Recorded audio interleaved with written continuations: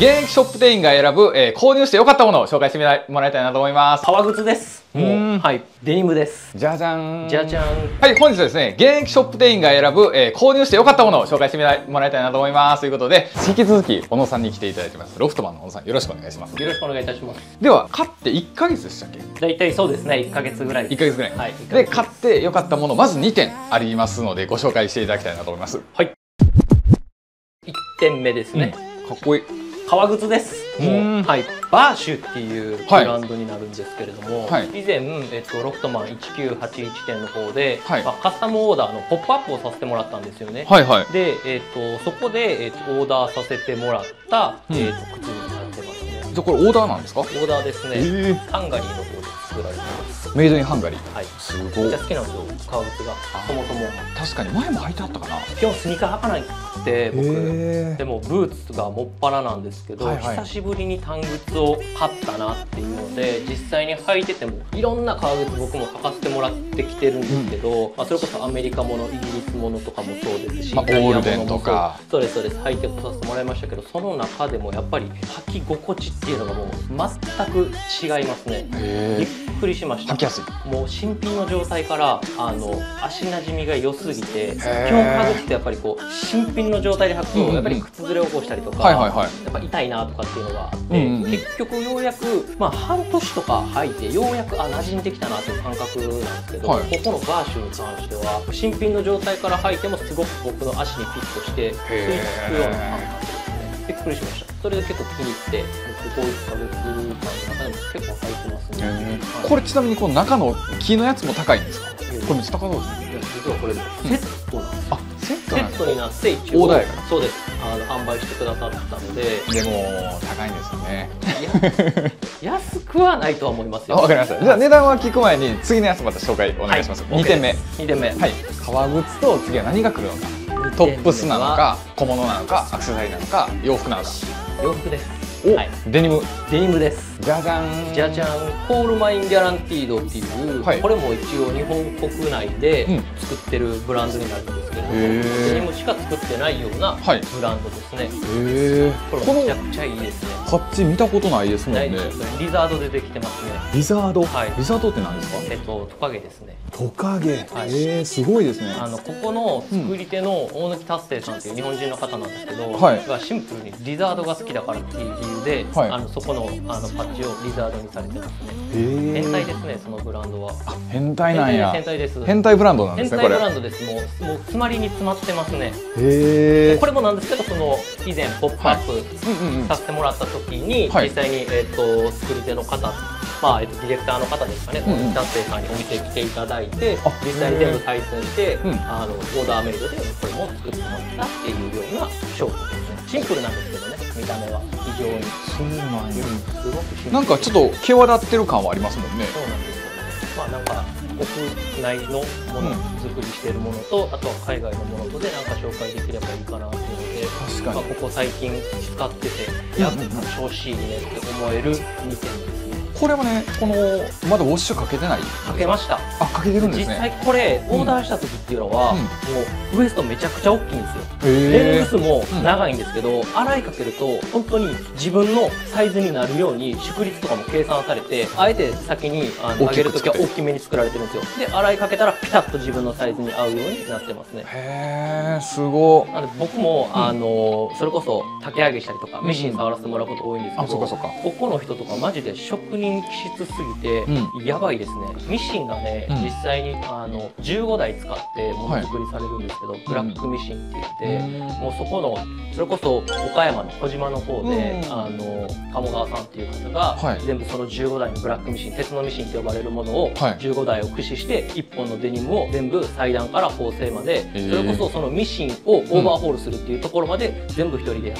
て作られてるっていうブランドですね。すごいですね。めちゃくちゃ綺麗です。あのうんステッチワークとかもそうですけどうんピッチとかももう芸術品ですね。へー。なんかデニムなんですけどね。アートですこれは。久々にね、はい。こうやってお話ししてて、まあ、コラボとか僕あんま基本ないんですけど、ワワークマンさん行ったりとかしてていろんな人の話聞くじゃないですか、は久々にうわ話うまいなっていう人と会いました。あそうですか？はい。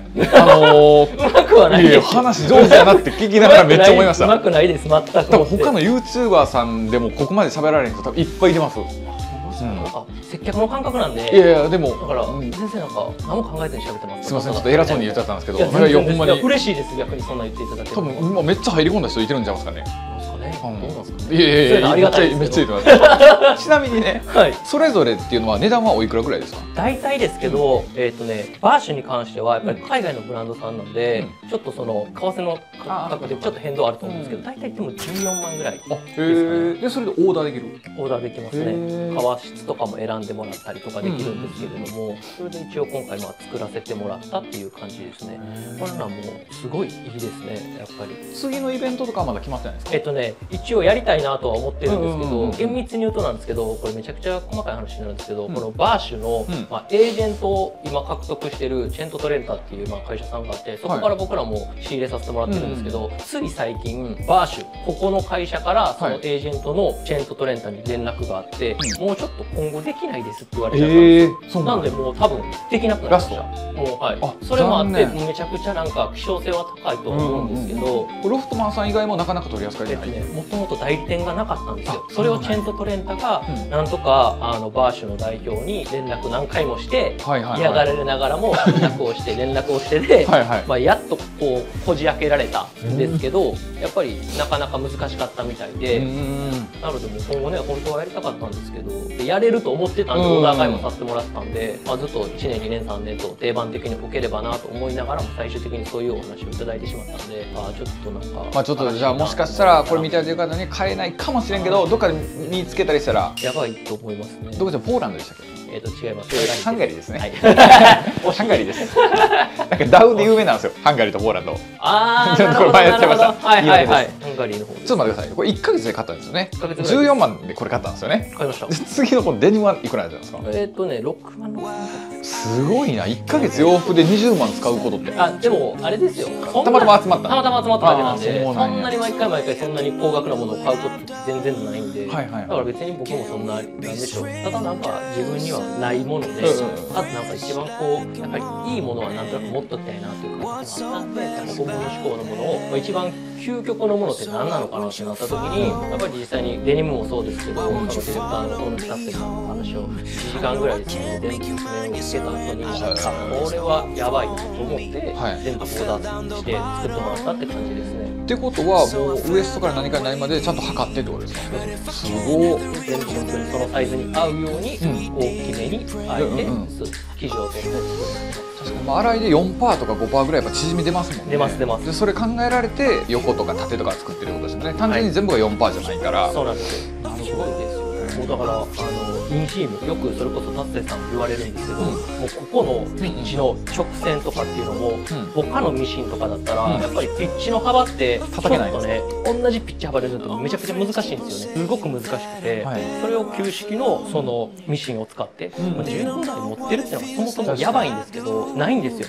やっぱり日本国内でもそういうものづくりをされてるところがなのでそれを全部この、鴨川さんという方に依頼して全部作られてるのでだからもう本当すごいですね。もううんうん全てピッチが返し縫いとかもそうなんですけど、うん。行って帰ってのステッチの同じ穴針穴通ってるなっていうなるほどなるほど。自分でやっぱずれてりててあのいや絶対無理だってやっぱ分かりますしそれをやっぱりやられてるところがすごいですね。なるほど。1900これとかは40年代のモデルをベースに、えっと作られてるデザインになってますね。へえそうなんや。なんか洗ってるのにまだノリがあるような感覚しますもんね。まだ2回しか洗ってないつい5日前3日前ぐらいに1回家で洗濯させてもらいましたね1回で結構パキッとはして大体12.5オンとかそれぐらいへえですかねまあ結構肉厚な感じですねこれ細めですかどちらかというと太いですね。展開されてるモデルの中ではちょっとやや太めかなと思います太すぎないですけどねもちろん。これもじゃあ早速履いてもらいましょうか。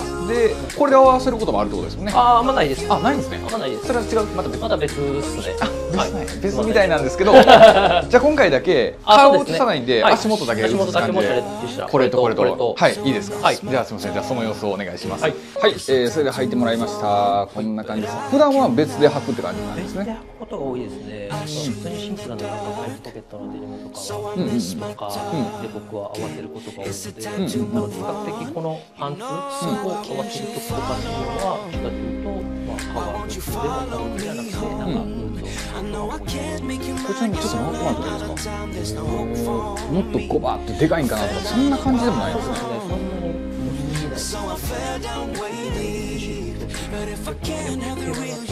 やっぱり印象がねバラバラの糸を使って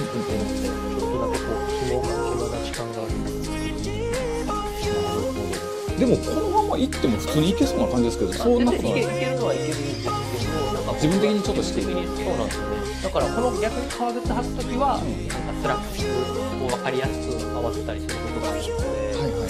だから分かりやすい合わせ方好きなんですよねあー、なんか。まあ、王道みたいな。あそうですそうですそうです。それはあの小野さんにとって王道ってことですよね。僕にとっての 王道ね。はいなるほど、多分他の人からしたら、いや、絶対今日の服装とか王道ちゃうやんとかって思われるかもしれないですけど、なんか僕からすると比較的、僕の中での王道ですね。なるほど。ヒールがちょっとだけやや高さがあってね、うんうんうん。この色気がすごくたまらなく好きで、確かに足綺麗に見えますもんね。そうなんですよね。へどんくさいのが多かったりするんでね、これはすごく気に入って、すぐ買いました。ーすごいな。全部ハンドメイドで作ってるとかっていうところもやっぱりこの革革靴に関してはすごく惹かれてて、うんうん底付けとかっていうので全部手縫いでやっちゃうんですよね、うん。ハンドソーン・ウェルテッド製法と呼ばれる、はい。いわゆるその今機械式でねアメリカ靴とかイギリス靴ってグッドイヤー・ウェルテッド製法と呼ばれるこう全部機械でねなんか大量生産するような作りのものが多いんですけど、んうん。もうさらにその上を行くもう全部手で底をつけてしまうっていう、うん。なのですごくなんでしょう非効率的なものづくりを今でもしてるっていうようななんかそういうブランドさんですね。職人も5人ぐらいしかいないって言われてましたからね。あそうや。そうなんですよ。それは確かにそんだけしますね。そうなんですよね。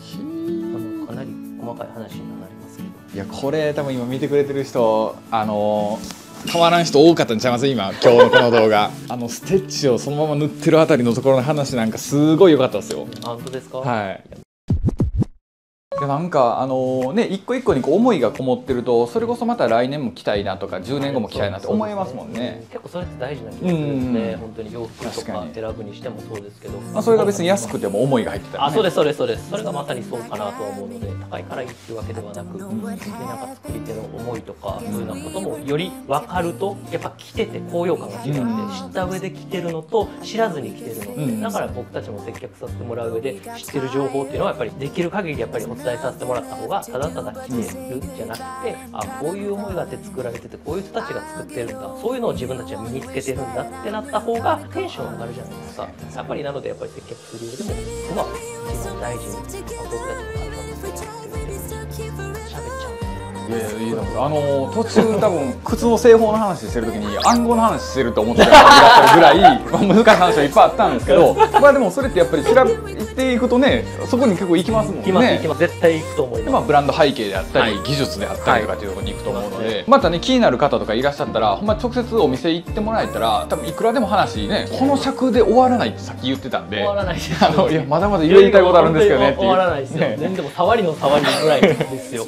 で、まあ、それって多分みんなねそういうの聞きたい人とかいてると思うのでぜひお店行ってもらってで直接聞いてもらったりしたら買い物とかも楽しくなるかなと思うし、まあ、それこそもしかしたらあのロフトマンさんでは今取り扱いないかもしれんけど、まあ、靴とかもまたお話も聞けるかなと思いますのでぜひぜひ聞いてみてください。ちなみに2つも今はじゃあロフトマンさんで取り扱いはないけどもえっと今はないですけプどライベートでよかったってことですそうですね。でも一応このパンツとかっていうのは、えっとそれこそ今年かもしくはまあ来年になると思うんですけど、まあ、できればオーダー会をさせてもらえればなと思ってるので基本完全受注生産ですよあそうなん普通に店舗に行って「はい買えます」っていうようなブランドさんじゃないのでうん。そうなんですよ。なので限られたところでしかうん。やっぱりこうオーダーもできなくてっていう形なのでいやいいですね。珍しいですただまあシンプルに純粋に気に入ってるんで紹介してしまいました。いやいやめちゃくちゃいいです。まあやっぱ日本にもねそういうすごい技術があるんやってことがなおさら分かったのですごいです本当にありがとうございました。またあの、えっと、インスタグラムとかも下に、えっと、説明欄貼ってると思いますのでぜひぜひ見てみてください。でまた買い物も行かせてください。待ってます。はいよろしくお願いします。はい。